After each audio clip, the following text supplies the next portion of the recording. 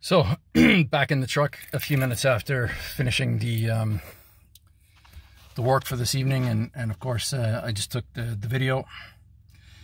I was reflecting as I did this that um, not too long ago, probably within the last week, I was bragging to somebody that I had essentially given myself a master's degree in renovation by watching so many YouTube videos on so many topics, whether it be framing or electrical, a lot of electrical uh, or more recently, the videos that I've been watching uh, by, again, Vancouver Carpenter on drywall, mm, taping and mudding, etc.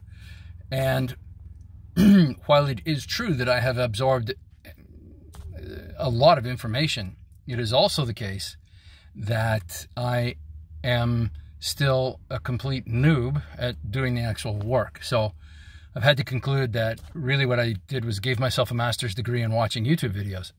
Um, there's no question that I'm much, much further ahead than I was before I started watching and before I started this process. But for anybody watching who's interested in doing their own renovation, I would say absolutely go for it. Research what you what you can on YouTube. Um, especially in the beginning, what I found was I was asking very general questions, and as I watched videos, I would learn I, I, I, guess I would see hints of other things that I, I was able to recognize I didn't know, so I was able to research further. Now I'm able to ask more focused questions, get more focused answers, and kind of get get on with it. Um, but I guess what I'm getting at is, if you have the interest in doing such a thing, absolutely do. Don't do it on a deadline if you can avoid it. Uh, I did, and it it just my experience has been that every single thing I've uh, tackled has taken three, four times longer than I expected. And that is unchanged from the beginning of the renovation. So even now, when I make an estimate, I'm still blowing over it by three, four times. So absolutely do it. I think it's, uh,